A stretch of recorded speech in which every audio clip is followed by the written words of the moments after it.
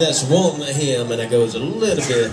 We messed it up just a little bit, just for fun, since it's 2013 instead of 1800s. So that's it.